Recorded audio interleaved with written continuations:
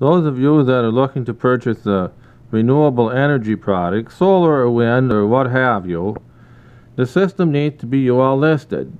Here's the the listing here for the Dakota turbine. That's on their website.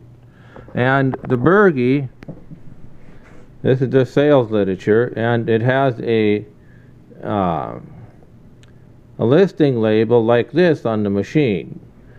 It needs to be listed in order for the electrician to wire it up or even have the inspector inspect it.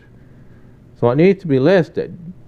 So uh, any solar or wind product that is purchased, you need to make sure that this is done or you have something that's worthless, you can't use it.